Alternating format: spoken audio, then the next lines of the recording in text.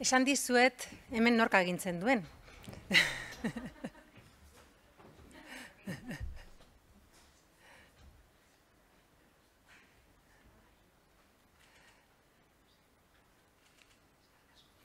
Mi esker zuri ere. Beno, ba, hartu dugu, kafetxoa, indar berritu gara, eta mintegiari berriro ekiteko prest eh, gaude. Benetan mainguru interesgarria dugu orain gurekin, gizarte politiken zeregina Euskal Herriko lurraldeetan gizarte koesioa lortzeko eta nortasun kolektiboa eraikitzeko tresna gisa. Ez du alanolako izenburua mainguruak, baino ekiteko pres gaude. Aurkeztuko dizkizuet, horretarako hementxe ditugun maikide eta dituak. Alde batetik eh, Lucia Martínez eh, Birto Anderea, gizarte lanean doktorea da bera eta gizarte ongizatean masterra du, genero aditua, Nafarroako Unibertsitate Publikoan, gizarte langintzako graduan eta eskuarte sozialeko masterren irakaslea da bera.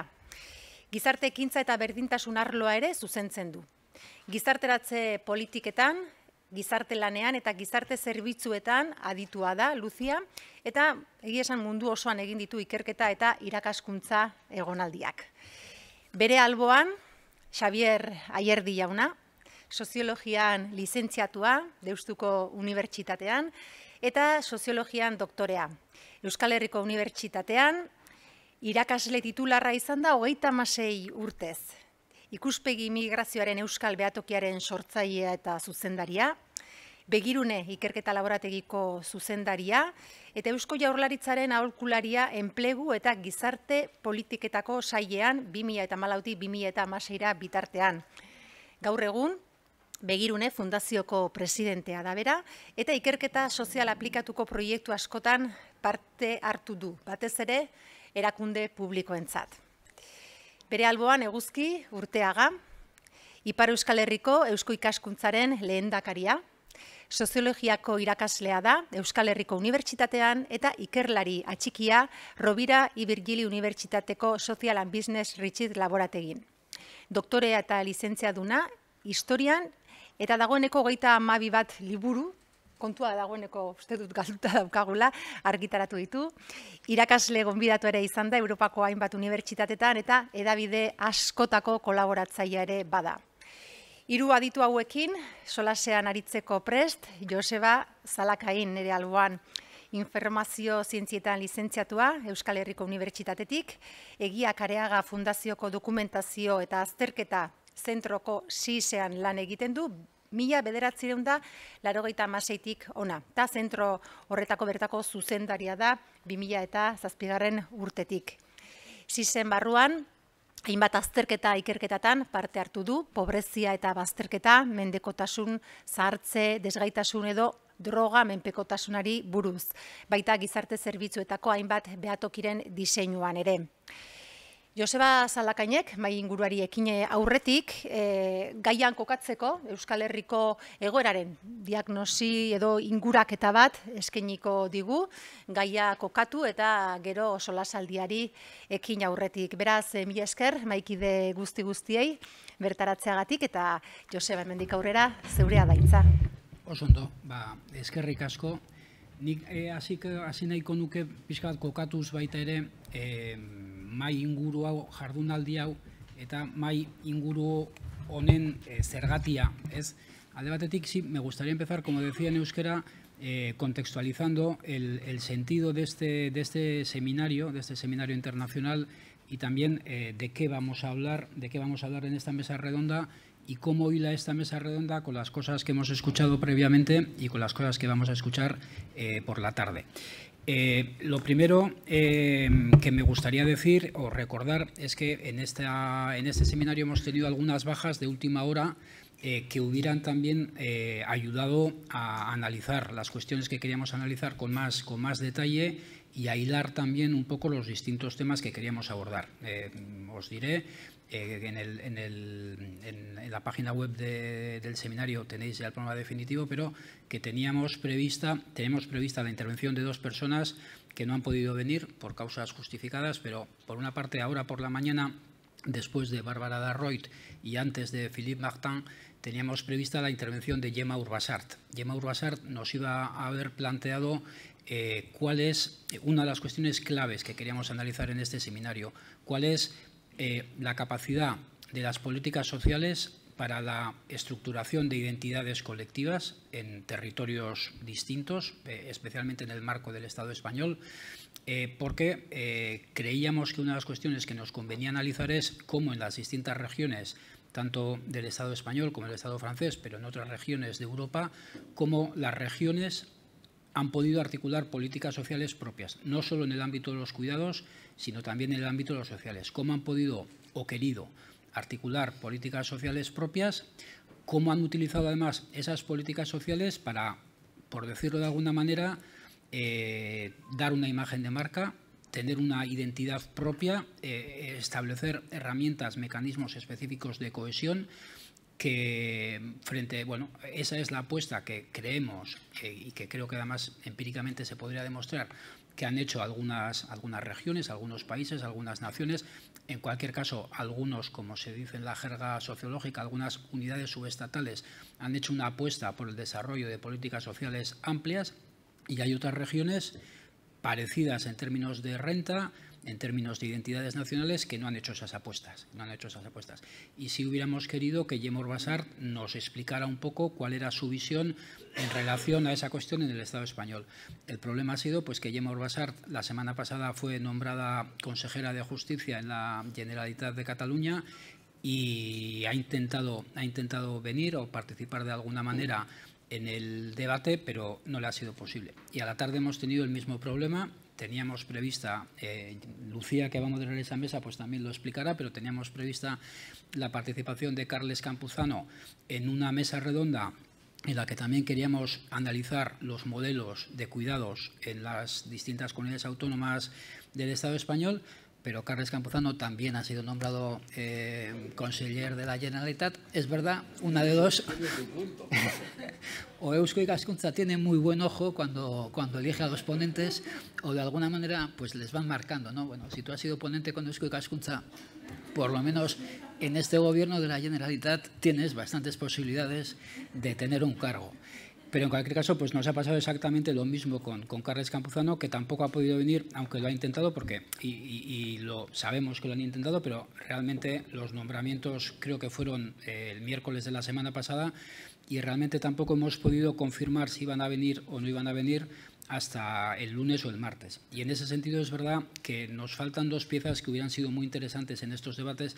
La de Gemma Urbasart, que de alguna manera nos hubiera explicado qué diferencias observa ella, no solo en las políticas de cuidados, sino en el conjunto de las políticas sociales de garantía de ingresos, de inmigración, de incluso de salud, de familia, etcétera, etcétera, que hubiera ligado también con la intervención de Bárbara Darroit y que hubiera ligado también con la intervención de Philippe Martin, donde ya nos interesaba eh, conocer mejor eh, cómo se han plantado las políticas de atención a la dependencia en, el Estado francés y más específicamente en los departamentos que conforman o que en parte incluyen a, eh, al territorio de Euskal. Entonces, eso es un poco, eh, por una parte, eh, también la última cosa que quería decir antes de dar pie a esta, a esta mesa redonda, que es verdad que el seminario gira en torno a dos temas que nosotros vemos vinculados, pero que son, en cierto modo, tienen una cierta diferenciación.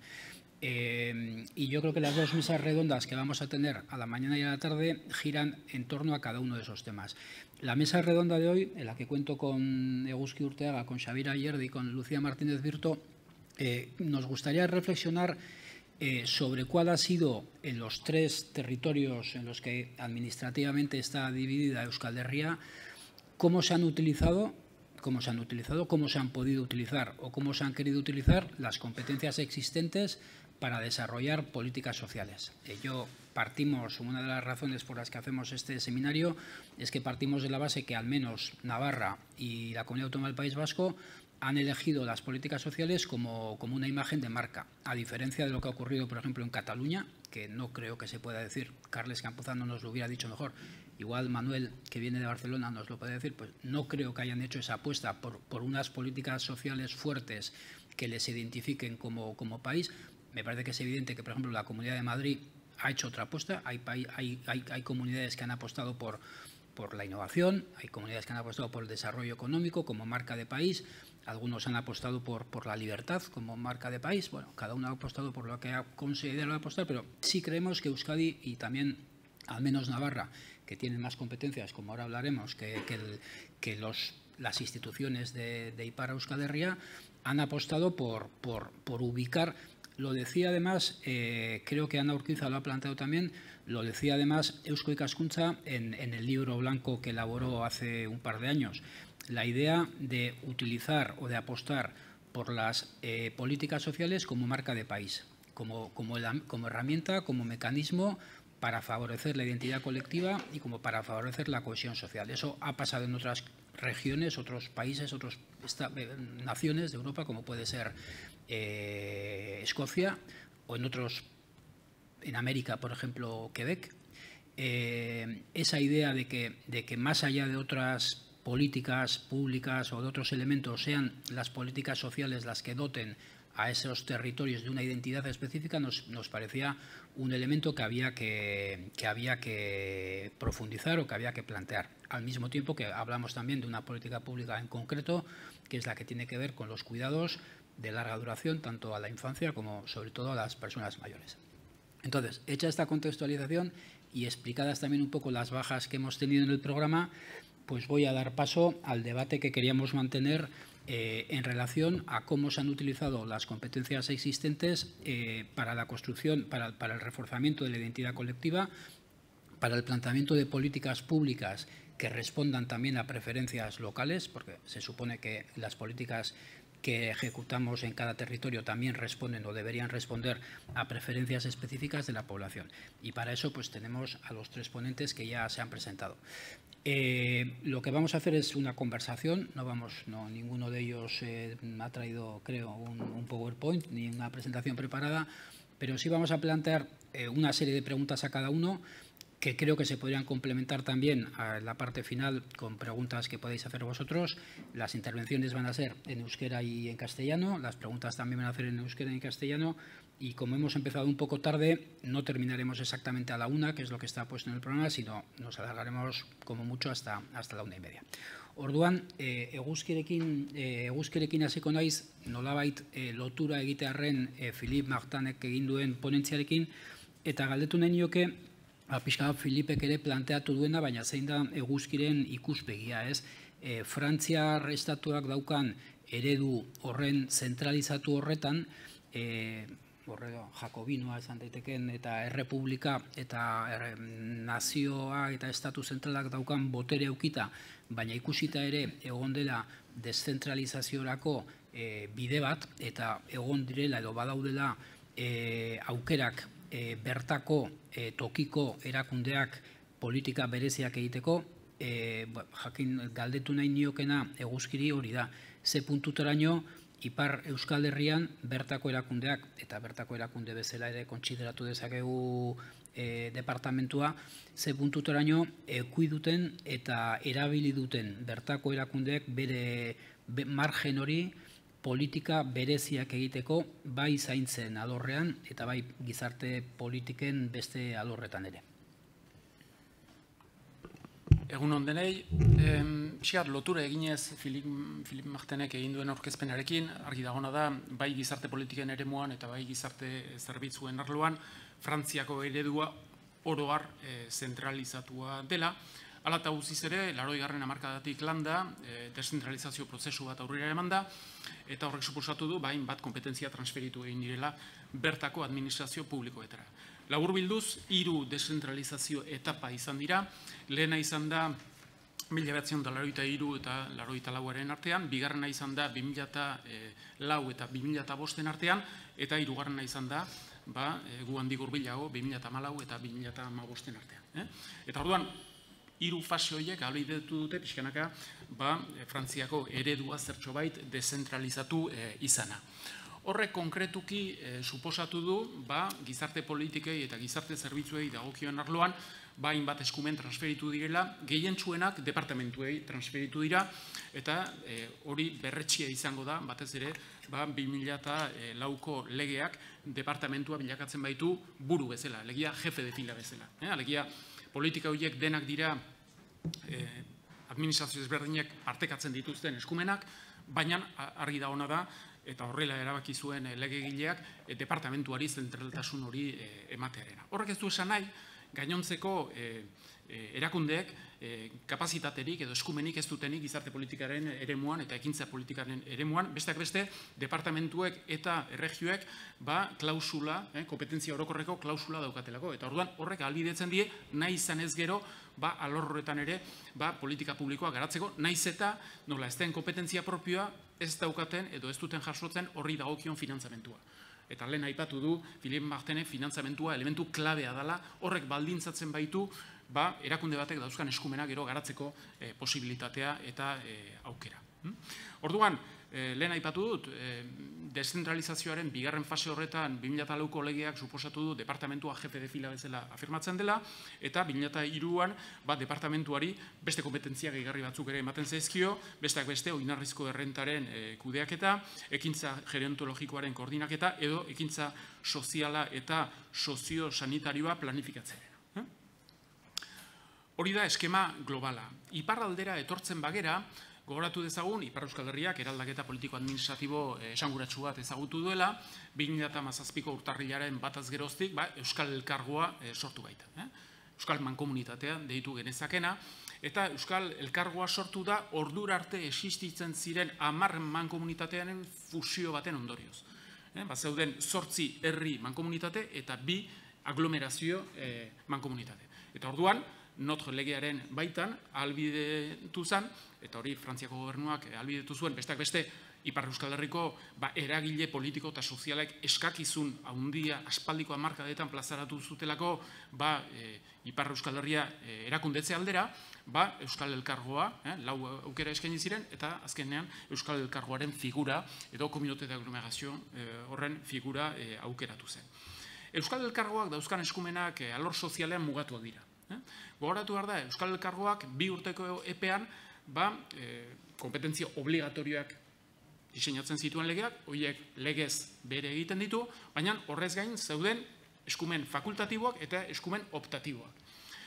E, eta bi urteko epe horietan, eskumen optatiboi dagokionez, Euskal Elkargoak erabaki behar zuen, ia horietariko guztiak ala zein bere egiten zituen. Kontutan izanik, ba, mankomunitate ezberdinak zirela, tamaina eta kapazitate finanziero ezberdinak zutela, eta horren ondorioz, ba, mankomunitate bakoitzak kompetentzia optatibo diferenteak zituela. Bai? Orduan, bi urteko epean Euskal Elkargoak egin zuen apostua zen, altziren eskumen guztiak bere egitea.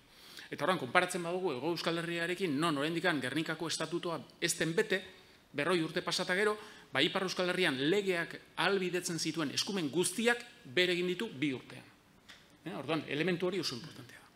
Orduan, eskumenei konkretuki, eh, eskumen obligatorio bat badago, naiz eta zaintzarekin loturarik ez eh, harreman zuzena izan, baina bai, gizarte politikekin eta da e, etxe bizitza politikari lotua dagona eta konkretuki da etxe bizitzaren programa soziala e, bere e, edo markatu etxe bizitzaren oreka soziala zarduratzen den e, eskumena e, bere egiten du eta bertan barnebiltzen ditu konkretuki etxe bizitzaren programa soziala, interes komunitarioko etxe bizitza politika, pertsona sumentzako aterpen aldeko operazioak edota ere egitako etxe bizitza parkearen hobekuntza. Bai?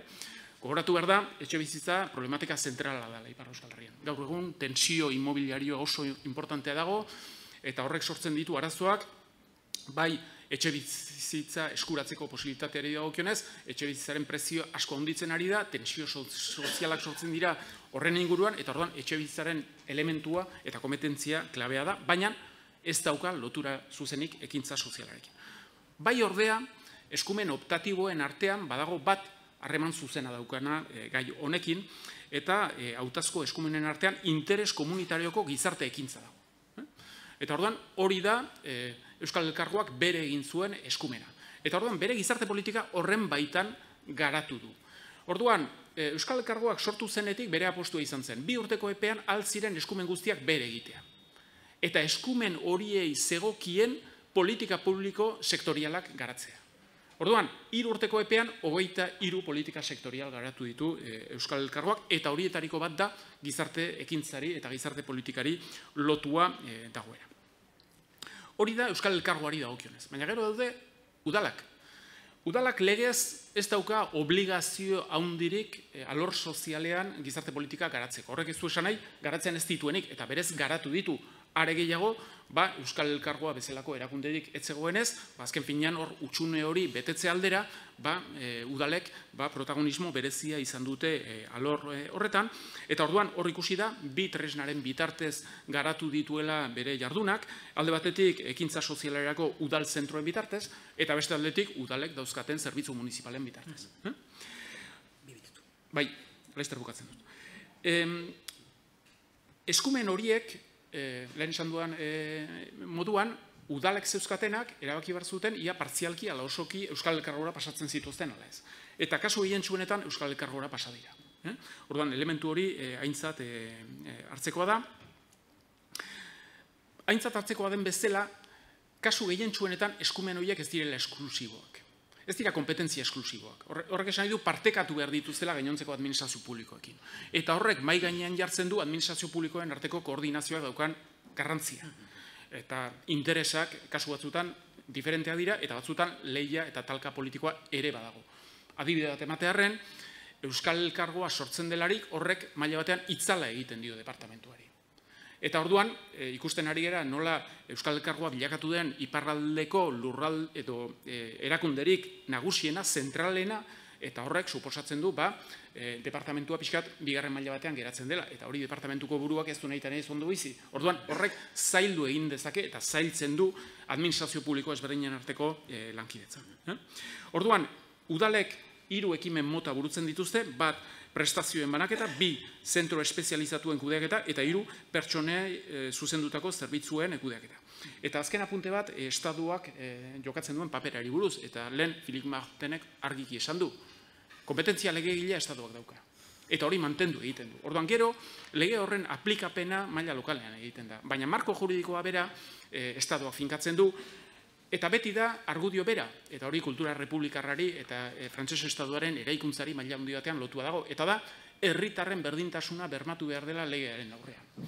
Eta orduan, bai e, legegileak, bai administrazio publikoak, eta bai e, auzitegi ezberdinek hartutako ebazpenak, joera euki dute beti irakurketa sesgatu egitea eta orduan departamentu batzuk edo eskualde batek edo eta bankomunitate batek joera edo naikeria izan duelarik ba, eskumen propioak edo politika propioak diferentziala garatzeko hor beti joera izan da rekursoak presentatzeko hori mugatzean dira. Eh? Orduan, hortan geratzen naiz eta gero agian beste puntu batzu garatuko ditut. Ba, bigarren galdera, eh, Xavier ingo diot, eh, te voy a hacer la pregunta en castellano, tú decides en qué, cómo quieres contestar. Pero la pregunta, eh, bueno... Iré alternando. Irás alternando, muy bien. Eh, la primera es pues, la afirmación que yo hacía, primero si estás de acuerdo con ella. Si, si, Euskadi ha utilizado sus competencias, la Comunidad Autónoma del País Vasco ha utilizado sus competencias para hacer una apuesta específica eh, por las políticas sociales como, como marca de la casa, como seña de identidad. Primero, si estás de acuerdo que eso es así o no lo ves tan claro. Y segundo, si estás de acuerdo con esa idea, qué factores económicos, sociales, políticos pueden estar detrás, por qué Euskadi ha podido o ha querido hacerla y, quizá otras comunidades parecidas no. Bueno, non, eta eskerrik asko gonbito nengatik, eh? eta git eskerrak emoteko aden, ze baina, bueno, azken finean gozoki envenenatu bat izan da, azken ordukoa, eta bueno, ba, itzein dut, emango donde iritzia. No sabría decir eh, si realmente esto ha sido una política que ha estado diseñada o una política encontrada. ¿eh? Yo creo que eh, para mí el libro más bonito que he leído jamás en sociología, bueno, el que más, de los que más me gusta ha sido la introducción de Berger, ¿no? de todos mis alumnos lo han sufrido además. Entonces, Berger dice que hay dos formas de reinterpretar la vida. Una es desde el presente y luego miras hacia atrás y ves lo que concuerda con lo de hoy, de tal forma que al final tu biografía tiene que ser coherente. Entonces, claro, yo creo que desde el hoy hacemos una, muchas veces una reflexión sobre el pasado y probablemente en el pasado no se sabía que se estaba haciendo esto. ¿eh?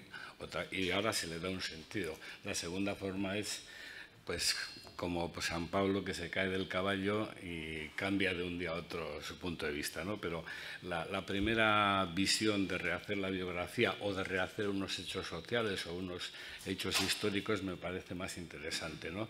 Es decir, hacemos una reinterpretación desde ahí.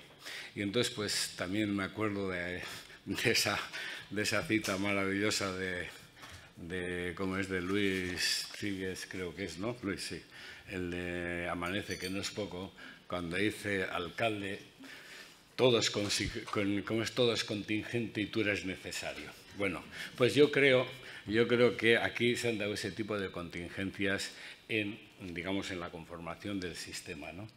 Y en esa conformación del sistema, pues eh, digamos que en algún momento se han alineado todos los astros y ha habido desde situaciones de shock, como la que pudo haber a mitad de los años 80, ¿no? en la que, bueno, pues en esa situación tenía que haber una solución. Y claro, cuando se hizo esa solución tampoco había extranjeros, con lo cual tampoco te tenías que preocupar si las rentas mínimas luego iban a ir a parar a manos de extranjeros, ¿no? Entonces, bueno, pues eh, en ese momento se hicieron esas políticas, en esas políticas pues coincidieron también muchos hechos virtuosos, ¿no? Gente extraordinaria, ¿eh? a la que, pues porque está todavía no se la ha reconocido, ¿eh? gente extraordinaria y muy variada además, ¿eh? muy variada de partidos, de asesores, de gente que hizo el estudio de pobreza, de gente que en un momento determinado dijo, pues bueno, pues si tenemos 100 millones de pesetas, pues vamos a tirarnos al río. Quiero decir, y, así surgieron, así surgió lo que la antigua, no la antigua RGI. Entonces, bueno, pues yo creo que haya habido elementos pues que en un momento determinado se alinearon, ¿no? Y luego, desde la perspectiva de hoy, dices, y esto que se ha ido alineando pues luego dices, bueno, y el sistema de servicios sociales, el sistema de educación, el sistema de sanidad, pues aquí también suele pasar una cosa muy curiosa, que es pues eso, que a veces la Iglesia hace pues, mucha política conservadora, pero luego cuando quiere legitimarse, eh, habla de Caritas y de lo que hace con Caritas. Y, y, normalmente pues todos los gobiernos presentan los presupuestos y dicen, es el presupuesto más social de la historia, ¿no? Entonces, entonces meten ahí un poquitín de todo, ¿no? Yo creo, yo creo que eh, en Euskadi, sobre esto, desde la perspectiva de hoy, y esto yo a veces pues, lo he discutido he hablado mucho con Fantova de estas cosas, ¿no?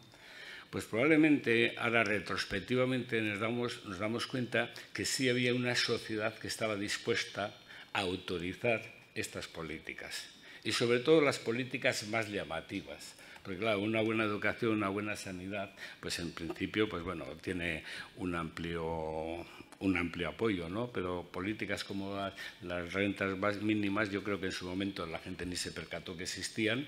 Luego, en el año 2000, cuando se revisan, pues parece que ya entonces empezamos a tomar conciencia y luego cuando llegan los inmigrantes ya es cuando ponemos pie en pared, ¿no?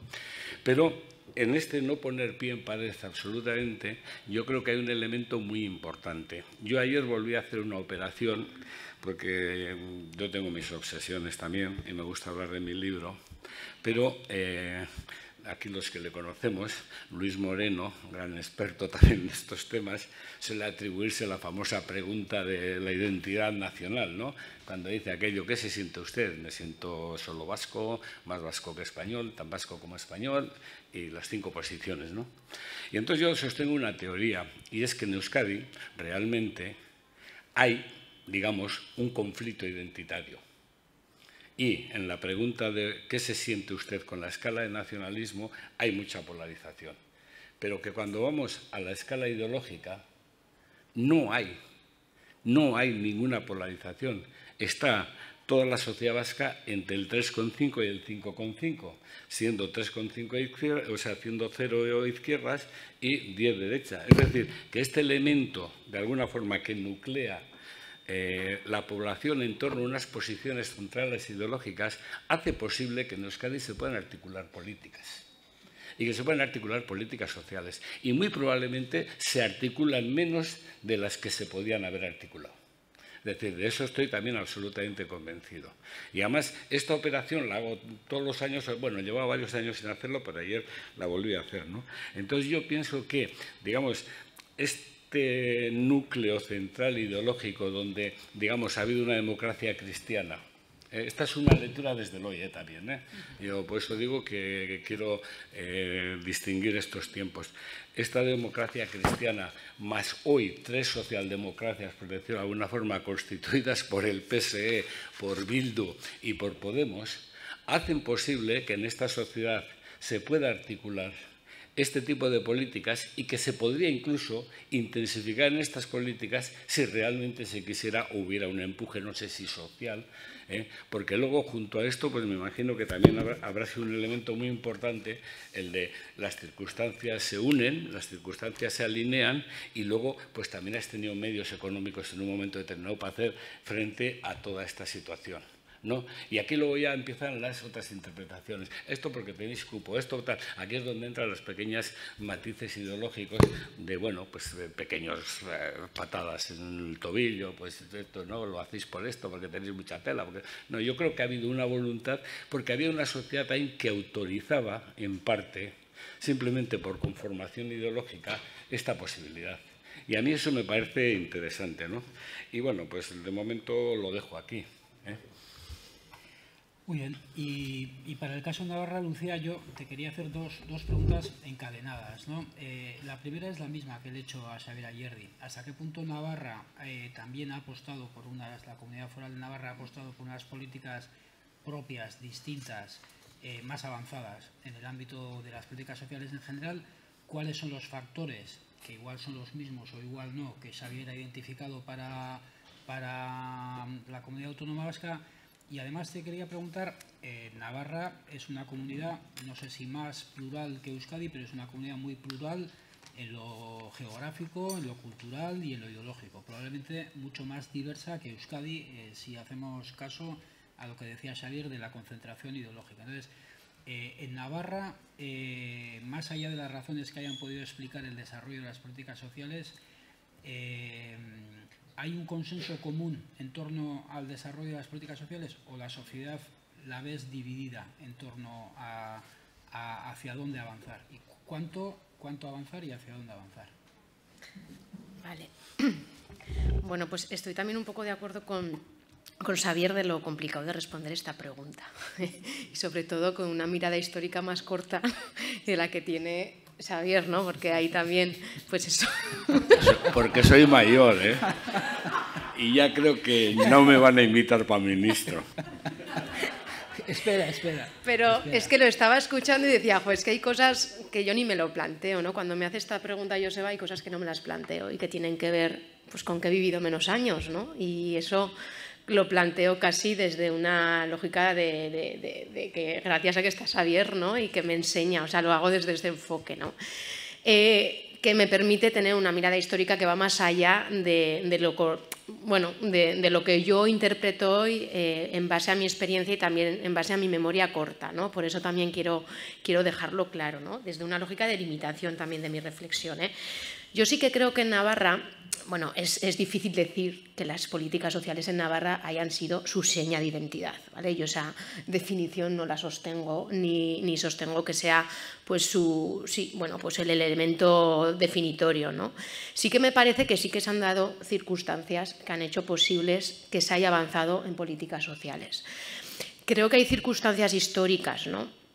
Eh, sí que es verdad que, bueno, pues justo estamos aquí dos comunidades forales, ¿no? Y ese apellido foral, yo creo que más allá de la autonomía fiscal que nos lleve, eh, sí que creo que son elementos que de alguna manera están presentes en la, dentro de esa diversidad que dices, Joseba, de la identidad navarra, es, está presente en todos los tipos de identidades, ¿vale? Yo creo que, el apellido foral desde, desde, sí, independientemente de la identidad a la que te, vincules en esa pluralidad de identidades, que no sé si hay tantas, porque te, antes decías, no es una sociedad muy plural en, todo, ¿no? En lo geográfico creo que tenemos todos los climas y todos, desde el desierto hasta, hasta la nieve y los Pirineos, ¿no? Hasta todo tipo de identidades. Pero es verdad que no es una sociedad polarizada. ¿Vale? No, es, no, no, no, es una sociedad polarizada, es una sociedad diversa, diversa desde la pluralidad. Es territorio de paso, lo ha sido históricamente. Es territorio de, de encuentro y es territorio también eh, no ha sido territorio quizá tanto como Euskadi de muchas migraciones, ¿vale? O sea, no hemos tenido tanto volumen de personas emigrantes de otros lugares de España como ha podido tener, por ejemplo, Vizcaya, ¿no? Y yo creo que eso de alguna manera hace que tengamos una, una identidad común como muy histórica, ¿no? No sé si eso es bueno o es malo, pero yo sí que percibo ese, ese común, ¿no? Y y ahí vendría a decir que, bueno, que, históricamente, independientemente de los colores políticos que ha habido, ha habido eh, gobiernos que nos han gobernado durante muchos años con, el apellido regionalista. ¿vale? Y además, desde distintas ideologías políticas, ninguna, ninguna fuerza actual del Parlamento se atreve a, cuestionar eh, ninguna cuestión de autonomía. De hecho, cada vez que hay un debate sobre el mejoramiento del fuero, que es como así se llama en Navarra, ningún, ningún eh, partido político se atreve a, plantear, por mucho que sabemos que tiene posiciones ideológicas pues, totalmente encontradas. ¿no? Entonces yo creo que ese elemento, de alguna manera, sí que ha hecho que, que haya pues, una serie de factores que se han encontrado para invertir en muchas cosas y entre ellas en políticas sociales. ¿no? También creo que somos un territorio pequeño. Te lo cruzas en coche en dos horas y media, tres, de norte a sur y en dos horas de este a oeste, depende de lo que corras. ¿no? Pero somos un territorio pequeño y a pesar de toda la diversidad interna, eh, realmente eh, hay, luego hablaré cuando hable más de servicios sociales, ¿no? a pesar de la diversidad eh, geográfica y toda la dispersión rural-urbana, sí que hay elementos bastante comunes de, funcionamiento, ¿no? de alguna manera. Y, creo que, la participación social eh, en los territorios pues, pequeños más o menos es posible. ¿no? Es decir, eh, cuando hablamos de políticas sociales es imposible bueno, plantearlos como que es un resultado unilateral de un gobierno que quiere o una sociedad que quiere, sino que es un, una serie de circunstancias que confluyen y que van construyendo y asentando unas estructuras que van permitiendo luego tomar decisiones más o menos valientes. Y en ese sentido, Navarra, y hicimos hace poco, siempre lo cuento, ¿no? foros así, pero hicimos hace poco un estudio sobre, sobre por qué las políticas de inclusión en Navarra, y Euskadi también estaba un poco ahí, ¿no? eran más avanzadas, ¿no? tampoco me gusta esa palabra, pero bueno, habían sido más, más, más, más, valientes en algunos ámbitos que en otros territorios y era precisamente porque más allá de, de, la voluntad política de financiar, más allá de que tengamos o no haya recursos, había una dinámica de participación del tercer sector, de la sociedad civil, eh, yo creo que los territorios pequeños permiten estas cosas, ¿no? Y en ese sentido creo que eso también define mucho hasta dónde hemos llegado. Y hemos tenido una sociedad civil y hemos tenido también un tercer sector que ha presionado mucho al, Parlamento de Navarra en este caso y a los políticos a avanzar y a encarar, ¿no? De manera valiente algunas cuestiones. Entonces, bueno, yo casi me, me, deja, me quedaría un poco ahí. Ba, e, berriro itzuliz, e, Iparra Euskal Herrira, e, nik egin nahi nizun bigarren galdera da, e, ze puntuteraino e, aldatu beharko lirateken e, estatuak. Esan dezu, e, botere legislatiboa eta eta azkenean erabakitzeko edo politikak finkatzeko gaitasuna eta eskumenak estatu frantsesa da euskala, nola aldatu beharko lirateke e, estatu mailan ezartzen diran politikak gizarte politiken alorrean, nola aldatu beharko lirateken e, Ipar Euskal Herriak dituen behar bereziak, etxe bizitza mailan, baina baita ere zaintza mailan, e, e, osasunaren esparruan, eskuntzaren esparruan, zaintzen esparruan, nola aldatu beharko lirateken politika, estatu mailako politika horiek, Ipar Euskal Herriko beharretara hobeto egokitzeko. Orduan, soluzioetara iritsi baino lehen, aurreko puntuko bi, bi ardatz azpimarratu nahi dituzke, gero uratzen delako hobeto e, gero proposatzen dudana. Lehenik eta behin, e, Frantziak desentralizatu du, baina desentralizatu du baino gehiago deskonzentratu egin du. Zein da diferentzia desentralizazio eta deskonzentrazioaren artean? Da, desentralizazioan erabakia maila lokalean hartzen da eta aplikapena maila lokalean egiten da. Deskonzentrazioan erabakia zentroan hartzen da eta aplikapena maila lokalean egiten da. Eta orduan, Frantziak deskonzentrazioa batez ere asko aplikatzen du desentralizazioa baino. Bai? Eta gero horrekin batera, eta lotura dauka, e, finantzamentuaren kontuak bere biziko importantzia dauka. Ez dut aipatu nahi ere, Ego Euskal Herrian dagon autonomia fiskala, kontzertu ekonomikoa, konbenio ekonomikoa, hori zientzia fikzioa da Frantziako e, ereduari dagokionez. Baina bai, itzen egin daiteke autonomia fiskal maila batetaz, eta administrazio publiko bakoitzak dauzkan kapazitateak bere zergak propioak kudeatzeko. Departamentuak kapazitate hori dauka, Euskal Kargoak ere bai, e, udalek ere bai. Baina bereien finantzamentuaren zati handia dator estaduen dotazioetatik. Zer gertatzen da, kompetentzia bat transferitu egiten duelarik estatuak administrazio e, publiko lokal batera, printzipioz garantizatzen dio, eta hori konstituzio frantsesean barne bilduta dago, ba horri dagokion finantzamentua ere transferitu behar diola. Zer gertatzen da, hori teorian, ba, bai, onartzen da, baina praktikan oso gutxitan praktikara ere ematen da. Zergatik, edota e, kompetentzia batzuk transferitzen dira, momentu horretan kompetentzia horiek betetzeko diru kopuru bat behar da, baina gerta daiteke, krisi egoera batean, ba, eskaera soziala hunditu egiten da, gastu publikoa hunditu beharra daukazu, eta horren ondorioz, zuk jarraitzen duzu estadutik ba, dotazio berdina jasotzen. Konkretuki, horrek defizit situazioak sortzen ditu. Bai? Baina ez hori bakarrik, Frantzian gertatu dena da, nola Europatik zetorren eskakizun bat, ba, defizit publikoak eta zor publikoak mugatzeko, mastritxeko e, irizpideak aintzat hartuta, horrek eragindu, ba, e, Frantziak ko estatuak joera euki duela dotazioiak murrizteko urtetik urtera. Eta batzutan dotazioa murrizketak eguneko goiera iritsi dira. Orduan, nola egiten du administrazio lokal batek bere kompetentzia horiek ba, eskaintzen jarraitzeko, ba, estatutik datorren dotazioa gutxitzen denean. Ba, bueno, berak dukan autonomia fiskal txiki hori erabiltzen du, baina horrek suposatzen du impostu lokalak e, igo behar dituela, eta horrek kostu politiko badauka.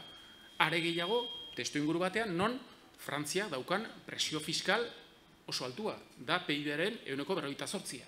Euskal Autonomia Erkidegoan eta Espainian da euneko goita maseia. Amabi puntuko diferentzia dago. Alegia, hor ja, maila batean herritarre konsideratzen dute tope batera iristen ari dela. Bai? Orduan, margenak txikiak dira. Eta administrazio publiko batek erabaki hori hartzen badu, kostu politikoa dakar. Eh? Orduan, hori situazia importantea da. Orduan, hortik maila batean ondorioztatzen dira eh, proposatzen ditudan ba, eh, aldaketak. Lehenik eta behin eskumenei lotua dago ezinbestekoa dirudi, ba, Euskal Elkargoak eskumen gehiago bere arditzan zerbitzu publikoen, e, gizarte politikoen eta ekintza sozialaren ere. Bi arrazoien gatik, alde batetik, e, erreforma territoriala egin delako Frantzia. 2008an, 2008an. Erreforma territorial horrek suposatu du eskualdeen eta mankomunitateen kompetentziak handitu egin direla. Eta aldiz, departamentuak ahuldu egin dira. Eta gero dago beste berezitasun bat, eta da, Ipar Euskal Herria kokatua dago Pirineo Atlantikoetako departamentuan. Departamentu hori bi burukoa da, bizefaloa da. Oso diferentea dira ekonomikoki, sozialki, kulturalki, linguistikoki. Orduan, ez da nahi nahi ez mailarik egokiena politika horiek aurrera emateko. E, orduan, lehena, lehena da, kompetentzia gizarte politikena Euskal Elkargora ere matea. Bigarrena, zerga autonomiarena. Ezinbestekoa dirudi, Euskal Elkargoak badauka eh, zerga batzuk ba, e, kudeatzeko eta garatzeko eskumena eta berez erabiltzen ari da. Besteak beste, estadutik datozen dotazioa gutxitzen ari dira. Azken presupuestoan, 2008ko presupuestoan, Euskal Elkargoak zerga logalak igotzea erabaki du bere prestazio eta zerbitzu maila mantendu alizateko. Orduan, autonomia fiskala e, areagotzea e, beharrezkoa dirudi. Eta hirugarren elementua da, jefe de fila ekintza sozialaren arloan, eh? ez nahi zari nahi eta nahi ez gizarte politika guztietaz, baina gutxien ez ekintza sozialaren ere moan Euskal Elkargoak asumitu dezak. Eta ez hori bakarrik, baizik eta eragile publiko eta pribatuen koordinak eta ere Euskal Elkargoak egin. Gai ez pixka bat aldatuta, e, Xavier ordena mantenduz, e, bigarren galdera, e, zu e, migrazioen alorrean ere ba, asko ikartu dezu eta asko dakizu, eta aipatu dezu horri buruzko gauza batzuk lehenengo galderaren erantzunean. Orduan, badago fenomeno bat, hay un fenómeno al que llamamos chauvinismo del bienestar, que no sé si es una palabra bien elegida o mal elegida, pero que es la tentación o la demanda por parte de la ciudadanía de que algunas políticas sociales y especialmente algunos servicios sociales se restrinjan solo a los ciudadanos autóctonos, locales, como queramos llamarles. Eh, ¿Hasta qué punto ves en Euskadi riesgos de ese fenómeno?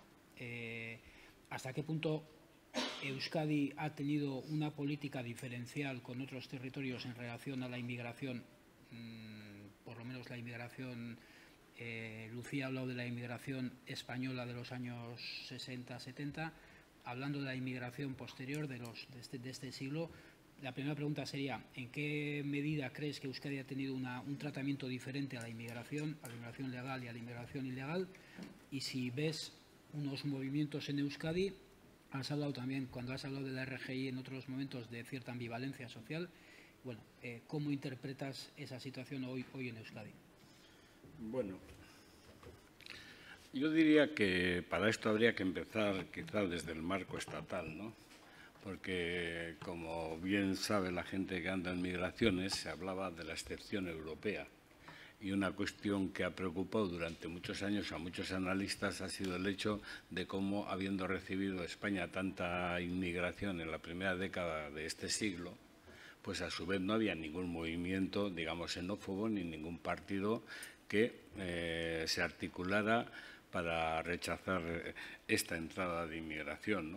Entonces yo creo que desde esa perspectiva, tanto eh, España como Euskadi a un nivel menor, yo creo que ha sido un país modélico, un país extraordinario y diría que incluso a día de hoy, a día de hoy, sigue siéndolo en este ámbito. Es decir, yo creo que hay muy poco chauvinismo de bienestar en todo el Estado con respecto a la inmigración o a limitarle muchos de los derechos. Eh, es más, eh, yo soy de los que sostiene que Vox surge más por el proceso que por la inmigración. Otra cuestión es el roto que puede hacer una vez que ya está aquí. ¿eh? Esa es otra cuestión. ¿eh? Pero ese roto también puede ser, digamos, contradicho por otras fuerzas.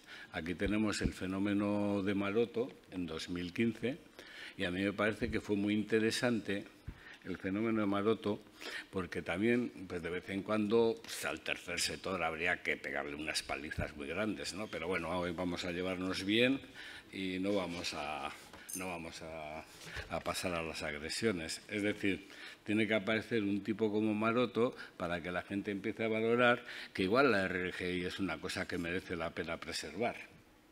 Hasta entonces nadie le ha dicho te quiero a la RGI, esa es una de mis obsesiones. Yo siempre digo, no, la RGI tiene que vivir muy, muy, muy aislada, muy sola y muy abandonada y tiene que estar triste porque nadie le dice te quiero, porque cada vez que alguien le va a decir te quiero, te sale, te sale otro sector de, del tercer sector más a la izquierda que te empieza a plantear la renta básica y dices, joder, eh, qué, qué vida más, más triste llevo. ¿no? Entonces, desde esa perspectiva yo creo que no ha habido eh, un chauvinismo de bienestar. ¿Puede surgir? Pues sinceramente creo que no. Y yo creo que en estas cosas, pues muchas veces cuando decimos, ¿y, ¿y esto cómo surgió? Pues probablemente de un estado de shock. En un estado de shock se acepta el ingreso mínimo vital con todos los votos del Parlamento español. Entonces, lo importante es aprovechar esos estados de shock e incluso muchas veces aplicarlos, porque resulta que la primera ministra inglesa no tiene ningún complejo en decir cómo va a machacar, a los pobres de su sociedad. En cambio, viene la izquierda y empieza a pensar, ah, pero igual no se nos mosquearán, igual no se pondrán en contra, igual no reaccionarán y perdemos posiciones, es decir, como, como una especie de miedo. Entonces, lo bueno de estas políticas, tanto la RGI en su momento como el IMV, es que una vez de que normalmente se instauran difícilmente, difícilmente, ¿eh? luego ya se tiran para atrás. Entonces yo creo que esto es muy importante por un lado. Y luego, por otro lado, sí, cuando se dice, pues puede haber signos de, más que chauvinismo. Yo mm, eh, estuve analizando una temporada y le llamaba la fatiga de la solidaridad. ¿eh? Y en la fatiga de la solidaridad sí puede haber un cambio ideológico, un cambio ideológico consistente en que, pues, que hemos pasado igual de lo común a de lo mío que. ¿No? de lo mío que. Y claro, en unas encuestas que hizo el Gabinete de Prospecciones Sociológicas eh, durante dos o tres años, pero luego ya no, no volvió a hacerla y es una pena porque a mí esas series siempre me parecen muy importantes, pues se preguntaba lo siguiente, de este listado de, de grupos y colectivos vulnerados, usted Eh, ¿Quién cree que recibe mucha protección en Euskadi? Mucha, bastante, poca o ninguna. Claro, el 63% de la sociedad vasca consideraba que la inmigración era el sector, el sector más protegido. ¿eh? Y el segundo grupo aparecía eh, los pensionistas con el 22. Pero es que luego ya todos los demás grupos vulnerados eh, se planteaban como si no tuvieran ninguna, ninguna, ninguna protección. ninguna protección. ahí están esos elementos. El tema es que yo creo que eh, de alguna forma todas las sociedades pueden sostener ideas muy malas, pero que es labor del resto, de los que sostienen ciertas ideas buenas, no permitir que surjan zonas de impunidad. Yo creo que eso es lo, fundamental, ¿no? Y hoy por hoy esas zonas de impunidad pueden venir desde muchas otras propuestas. Es decir, si esas opiniones existen y esas opiniones existen, digamos, en frío, no permitir que se calienten. Yo creo que esa es la gran labor. O sea, más que estar preocupados por eh, si, si, hay chauvinismo tal, pues simplemente hacer que no prosperen políticamente ni se articulen este tipo de opiniones. Yo creo que esa es la gran labor que tenemos. Pero no diría que hay un chauvinismo de bienestar muy grande en nuestra sociedad, ¿eh? ni en la sociedad española en general. Eh, Lucía, te haría la misma pregunta teniendo en cuenta que Navarra tiene unos patrones de inmigración diferentes de los que tiene Euskadi, eh, tiene más inmigración y quizá geográficamente distribuida de otra manera y también tiene un panorama político ideológico también diferente. Entonces, en ese sentido, ¿el diagnóstico que haces respecto a esta cuestión en Navarra es el mismo que haría Xavier? Sí, la verdad que no, no he visto, ni, o sea, no, no creo que haya ningún indicio para hablar de, este fenómeno, ¿no? Sí que es cierto que, bueno, pues eh, creo, dentro de esa pluralidad que antes hablábamos, eh, yo creo que Navarra, y así lo, y lo sostengo, ¿no? es una sociedad acogedora y, lo ha demostrado pues, durante muchos momentos de su historia y lo está demostrando ahora, ¿no? A pesar de que, evidentemente, eh, bueno, a ver, Navarra ha sido también una, comunidad que, que, migró mucho, ¿no? O sea, en, durante muchos momentos de su historia.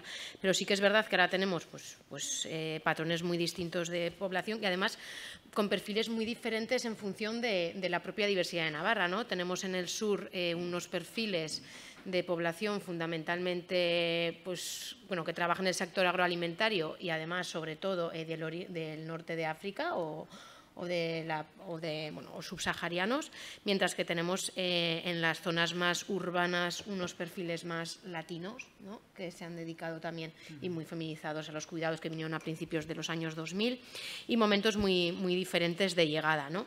Pero fijaros, en, cuando me hacen estas preguntas o cuando reflexiono un poco sobre eso me acuerdo de momentos realmente tensos para hablar de políticas sociales en Navarra y unos momentos tensos fueron, en mi memoria corta, en el año 2012. Esos fueron uno de los momentos más tensos que yo viví de, recortes en políticas sociales. ¿no?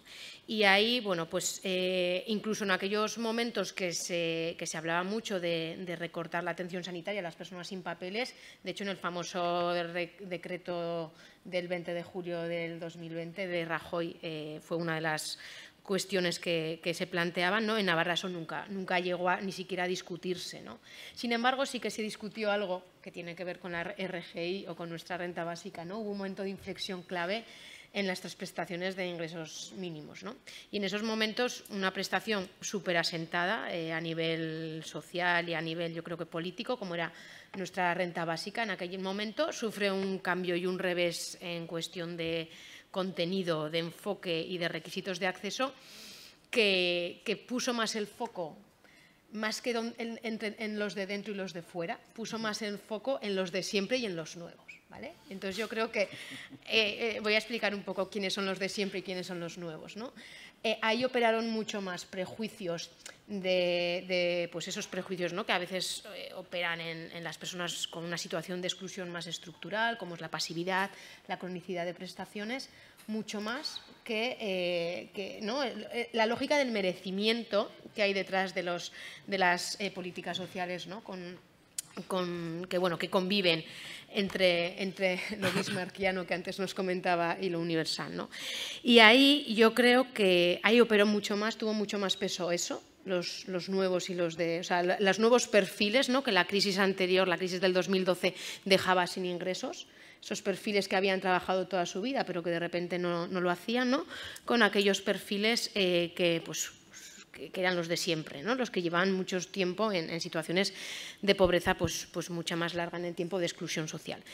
Y eso fue, a pesar de que la propia norma, el propio cambio normativo, en algún momento llegó a discutir si era solo para personas con papeles o sin papeles. ¿eh? Y a pesar de eso, lo que realmente pesó en el gran debate social era eso, una línea diferente para los de siempre y para los, de, los nuevos. ¿no? Y, yo creo que también eso tiene que ver porque durante las grandes oleadas, las últimas grandes oleadas de personas migrantes han sido personas que de alguna manera han ocupado un papel muy necesario en el crecimiento económico en Navarra sectores como los cuidados que estamos viendo ahora, eh, han, han, han, sido las personas que de alguna manera han sostenido el bienestar en las familias. Y en ese sentido, eh, que hayan venido ¿no? de alguna manera a, rescatarnos y a sostenernos, aunque esto públicamente no se diga, pero yo creo que sí que está de alguna manera en el comprender de la sociedad navarra. Y yo creo que eso ha hecho de alguna manera reconocer mucho el papel que las personas que están viniendo en, esa acogida. ¿no? ha habido esa competencia de recursos, o así no lo, no lo he percibido, pero sí ese, ese, acogimiento. Muy bien. Yo tengo algunas preguntas más que, que ellos las tienen preparadas, pero eh, no sé si alguien de vosotros, Zotako Norbaitek, eh, galdera bat, oraindik badaukagu hogei minutu, ez dakit Norbaitek aprovechatu nahi duen, si alguien quiere aprovechar para hacer alguna pregunta, o confiáis en que el moderador siga preguntando.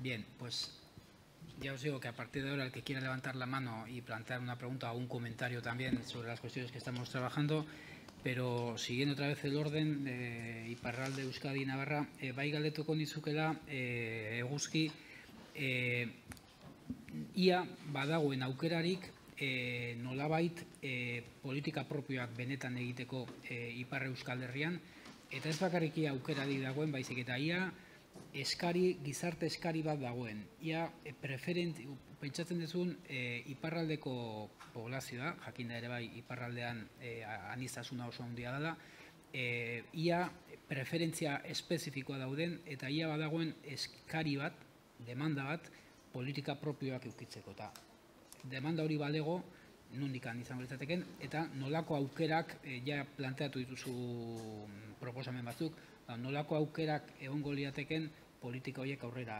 eramateko. Orduan, hor daude hiru maila, bat da juridiko, bestea politikoa eta bestea soziala izango bai, litzateken, ez? Bai. Juridikoki eh, legeak aurre ikusten du badagola eh, eskumen batzuk ez transferitzeko, baina bai delegatzeko posibilitatea. Kasu horretan Euskal Elkargoa adostasun batera iritsi behar da edo estadoarekin, edo erregioarekin, edo departamentuarekin, eta elkarrekin erabakitzen da ze kompetentzia delegatuko den, ze baldintzatan, ze dirurekin, ze ikuskaritza prozesurekin eta ze eperako. Hori legeak aurre ikusten. Horain, hori aurrera emateko, implikatzen du borontate politiko bat dagola, ez bakarrik Euskal Elkargotik, baizik eta beste sozioetariko bat gutxienez ados egon behar da hori aurrera emateko, eta gero modalitateak, zeren maiz esaten da, deabrua detailetan gordetzen dela, bakasu honetan ere bai. Eh? Orduan, hori da dimensio eh, eh, juridikoa. Gero dago dimentsio politikoa. Gaur egun, nekez pentsa daiteke epe motzean eh, estaduak, eskualdeak eta departamentuak kompetentziarik delegatuko dionik Euskal Elkargoari. E, bi arrazoi nagusigatik. Alde batetik, e, ez dutelako orain arte inungo borontaterik erakutsi hortarako. Bai? Besteak beste, kompetentzia bat delegatzen duzularik, naiz eta ez transferentzia bat izan, horrek maila batean botere galera bat ere suposatzen du. Eta hori normalean administrazio publikoei etzai gustatzen hoien artean ere leia egon daitekelako, eta orduan, estadoak, eskualdeak, departamentuak, orain arte ez du borontate hori erakutsi. Baina beste aldetik ere, Euskal Elkargoa gogoratu behar da, duela bost urte bakarrik sortu zela. Bost urtean, fusionatu behar izan ditu amar administrazio. Horrez gain, kompetentzia guztiak bere egin behar izan ditu. Horrez gain, hartu ditu kompetentziak legeak aurre ikusten ez dituenak. Hizkuntza politikaren eskumena adibidez. Hori legean inon ez da gertzen.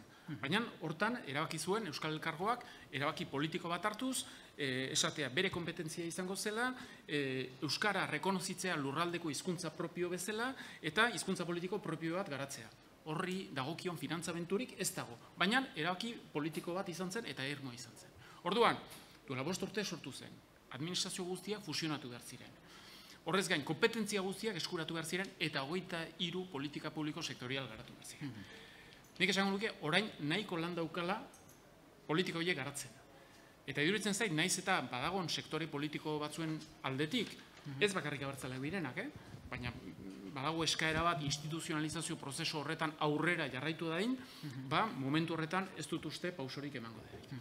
Eta gero dago, hirugarren dimentsioa, dimentsio soziala epatu duzuna. Nik esango nuke soziopolitikoa, zeren Ipar Euskal Herrian garatu da, laroi garren amarka da, eh, azeratik eh, landa gobernantza berri bat. Gobernantza berri horrek suposatzen zuen gizarte zibila eta erakundeen arteko harremana ba, e, konfliktoan eta oposizioan izateetik kooperazioan izatean e, oinarritzea. Eta horrek konkretuki suposatu du erdi instituzio batzuk garatu direla, sortu direla, garapen kontseilua, autetxien kontseilua, Euskal Kultura erakundea, eta bertan batzen dira eragile guztiak. Instituzionalak gehi gizarte zibila antolatukoak. Eta elkarrekin egin dutena da diagnostiko partekatu bat, bat, bi, helburuak finkatu amar, amabust urtera, eta hiru ekintzak zehaztu helburuiek betetzeko. Eta horrek, denboraren poderioz aldatu duena da kultura politiko lokala. Gatazkan oinarrituai zegoen kultura politiko batetik pasatu gera eztabaidan dialogoan eta akordioan oinarrituta dagoen kultura politiko. Horrek ze ondorio du oso adostasun zabala garatu direla baita oso sensibleak diren gaien inguruan instituzionalizazioaren gaian inguruan, bake prozesuan, Euskararen inguruan, baina gauz, eh, esan nuke, eh, eh, ekintza sozialari eta gizarte politikei dagokionez. Beraz, nik ez nuke esango eskaera soilik datorrenik gizarte zibiletik, baizik eta gizarte zibilak eta instituzioak mode bateratuan eskakizun hori plazaratzen dute. Eta noiz onartu du estadoak Ipar Euskal Herriari instituzio propio bat ematean, ikusi duelarik bloke bateratu bat zegoela. Eta hor, ez zeukan eskapatoriarik. Ez bakarrik klase politikoaren baita, zerin konsensua dago ezkarra bertzaletik eskubi frantzesera. Eskubi muturra da albo geratzen den makarra. Baina horrez gainere, gizarte zibil antolatua eta instituzioak elkarren kin lan egiteko itura hori daukatela. Eta horrek izugarrizko indarra. E, ba, azkeneko galdera bat egingo dizuet, berdina, e, Xavier eta Luziari, y además no es la que teníamos preparada antes, entonces mm, es para improvisar un poco más, pero eh, es un poco la que planteábamos también a... Sí, es la que planteamos a, a Eguski. Eh, ¿Vosotros creéis que en el marco competencial, básicamente en el marco competencial, en la forma que se articulan las competencias entre el Estado, el gobierno foral y los ayuntamientos en Navarra, el gobierno autonómico, las diputaciones y los ayuntamientos en Euskadi, ¿Sería necesario hacer algún tipo de cambios para que las políticas sociales y, concretamente de servicios sociales que se hacen en Euskadi y Navarra eh, respondieran mejor a las necesidades? O sea, ¿hay, demandaríais cambios en lo que tiene que ver con la ordenación territorial y la estructura competencial o creéis que bastante tenemos con hacer lo que ya, lo que ya nos corresponde? Yo te diría, con esta pregunta, que es una pregunta trampa, ¿eh? te diría que los caminos del Señor son inescrutables. Y digo esto por una sencilla razón, porque no sé si se pueden hacer unas políticas sociales más eficaces, mejores, peores, más intensas, pero parece que el modelo territorial e institucional vasco que cambie yo no lo voy a ver y probablemente no lo van a... No, no, a, Lucía, a Lucía le envidio en este, en este punto. Le envidio, además es una envidia insana, ¿eh? pero yo creo que eso no lo vamos a ver. Y yo no solo no lo vamos a ver, sino que yo en el 86 defendía la, la, como es, la posición contraria. Y perdimos y hemos perdido yo creo que para siempre porque tú has dicho antes que como somos territorios forales, los forales, tal, es que nosotros tenemos hasta nacionalismo foral, o sea que lo vamos, lo vamos a tener muy difícil. Y es una pena porque yo sí pienso que podría haber mucha eficiencia, podrían resolverse muchos problemas de dobles, eh, de dobles servicios, de negociaciones mucho más sencillas y de probablemente de mayor eficacia. ¿Eh? pero bueno, es una forma de construir la nación, digamos, más, más, difícil. ¿eh? Bueno, con un confederal. Vale, vamos a sacar un confederal que es muy bonito. Bueno, que conteste ella que lo tiene más fácil. Sí, la verdad que lo tiene tengo... hasta solo una fiscalidad. Sí, por eso lo tengo más fácil. Eso por es eso y porque no tengo diputaciones y... O- o solo tienes una. No, solo tengo una. Oh, qué bonito. Y en la lógica multinivel, pues eso facilita, eso está claro, ¿no? Yo no sé si lo voy a ver o no. mm, Lo que sí, no sé si lo voy a ver un cambio mm, de, de ordenación territorial. Lo que sí que creo que, que voy a ver en algunos ámbitos es un cambio de, de algunos enfoques que vayan a reducir grandes dificultades de gestión de las políticas sociales que ahora están.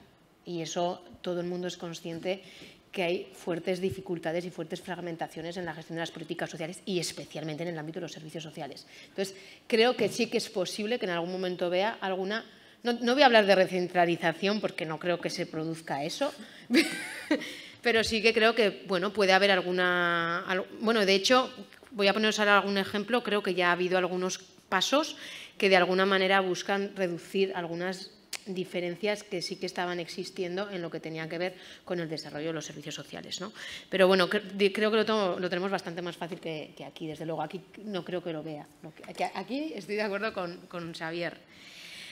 ¿Y por qué lo tenemos un poco más fácil? Bueno, pues porque eh, bueno, es más pequeña, eh, buena parte de la población la tenemos centralizada, eh, muy centralizada en Navarra y o sea, en, en la zona de Pamplona y comarca, pero es verdad que tenemos una fuerte dispersión territorial y muchísimos pueblos que aunque se mancomunan entre sí, pues eso, están muy dispersos. Aquí no hay, en Navarra no hay núcleos urbanos, o sea, perdón, núcleos rurales suficientemente grandes que sí que lo podéis tener en Euskadi. ¿no?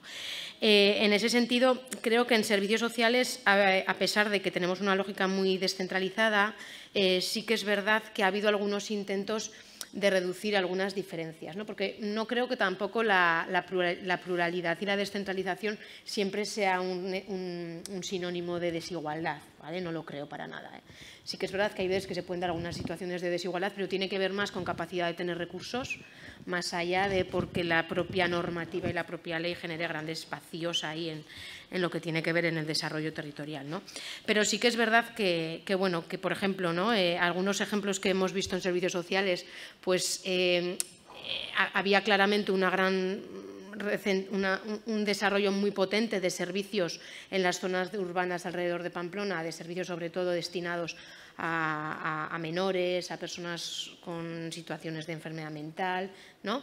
y que eh, luego hab- había otras zonas de Navarra que están muy lejos de, de muchos recursos especializados de servicios sociales. Y de alguna manera ha habido algunos pasos, no tanto a, a descentralizar recursos especializados, pero sí a hacer equipos intermedios que en las zonas de Tafalla, en las zonas de Estella y en las zonas nortes, pues de alguna manera creo que han contribuido, que es lo que la ley llama centros de servicios sociales, que de alguna manera han contribuido a acercar algunas posiciones en lo que tiene que ver con una atención especializada en las zonas rurales. ¿no? Y yo creo que esos son pequeños eh, intentos y pequeños avances a reducir las desigualdades que implica la descentralización, pero tampoco creo que vayamos a vivir un proceso de recentralización. ¿vale? No sé si se me explica un poco los dos matices. Y luego también creo que hay algunos ejemplos que eso lo permite al ser una comunidad más pequeña y al ser una lógica de, de multinivel más sencilla, que hay algunos acuerdos. Por ejemplo, yo siempre pongo el ejemplo del acuerdo del SAD, ¿no? del Servicio de Atención a Domicilio. Hay una, a pesar de que es una, una, pues eso, una responsabilidad municipal y cada uno lo gestiona, lo financia y lo ordena como le parece, pues hay una, una, una ordenanza municipal muy sencilla que llega a unos mínimos comunes que permite que a pesar de las diferencias eh, entre los ayuntamientos, ahí ya casi podamos hablar de una prestación bastante similar. ¿no? Y como eso, pues hay otro tipo de, ejemplos. ¿no? Y yo creo que bueno, pues eso podría ser un poco los pequeños avances a reducir las, diferencias que nos pueden llevar a, la los mapas de la descentralización. Muy bien. Pues si no hay ninguna pregunta más, yo terminaría con un comentario eh, y traería a colación un caso que hubiera sido muy bueno poder analizar en detalle en este seminario, pero que no, no ha podido ser. Eh, y también un poco por, por darle alguna esperanza a Xavier, que es el caso escocés. Eh, el caso escocés es, eh, el primero, el de una, un país que se ha destacado, primero, que tiene problemas identitarios parecidos a los nuestros, que se ha destacado por una apuesta muy importante también por las políticas sociales, con innovaciones en muchos ámbitos, que tenía un modelo mucho más funcional que el nuestro, porque tenía un modelo de políticas sociales en los que las competencias se atribuyen íntegramente en servicios sociales a unos ayuntamientos que tienen tamaños mucho mayores, no se dispersan las, las competencias en distintas administraciones, pero aún teniendo un modelo que teóricamente a nosotros nos parece mejor, han optado, están optando por recentralizar hacia el gobierno escocés, para una población de 5 millones de habitantes. Entonces, si los escoceses han tendido a, o están tendiendo a recentralizar, pues el, el partido todavía está abierto. Yo te agradezco este, este ánimo. bueno, eta besterik ez, nik uste e, ia ordu bat aterdia da, iruretan hasiko gara berriz, orduan ba, hemen utziko dugu eta iruretan ikusten berriro. Ezkerrik asko eta gero arte.